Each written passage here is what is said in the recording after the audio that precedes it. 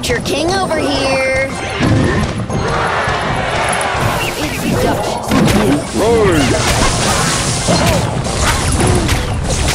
Right. lightning!